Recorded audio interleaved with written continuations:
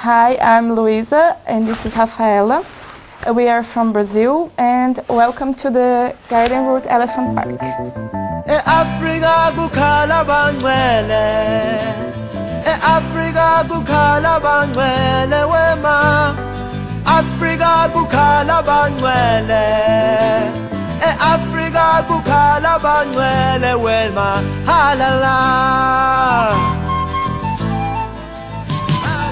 Afrika kukhala bangcwele eAfrika kukhala bangcwele wema.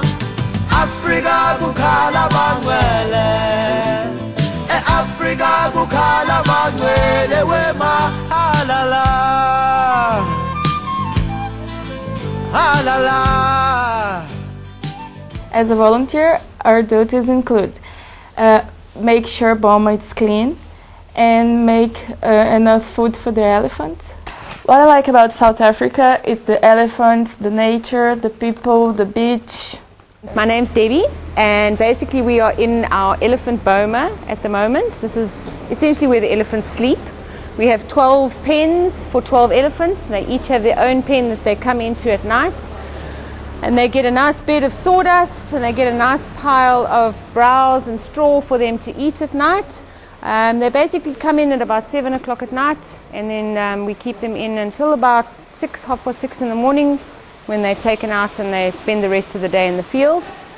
With elephants, it's quite important that um, they eat for, in the wild, they'll eat for about 18 hours a day.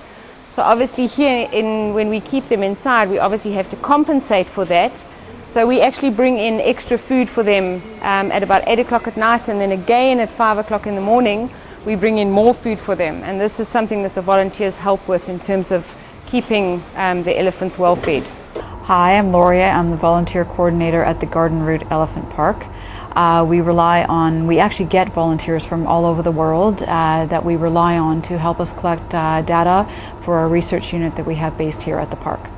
The volunteers uh, are their their day runs from 6:30 a.m. up to 6:30 p.m.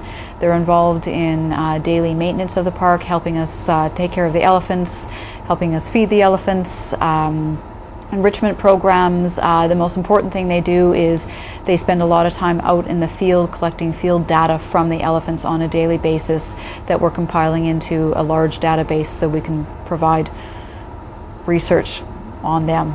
The volunteers assist in a project with a local underprivileged school. Occasionally, we are called upon to go down and help them with a gardening project that was started uh, to teach them how to uh, be sustainable, pretty much, and uh, teach them how to grow their own fruit and vegetables. They actually use the fruit and vegetables at the school in order to make lunches for the for the kids there. Afrika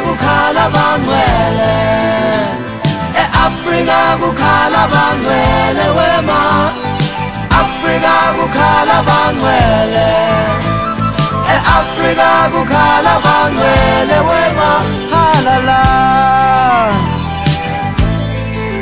halala Nós amamos a África do Sul.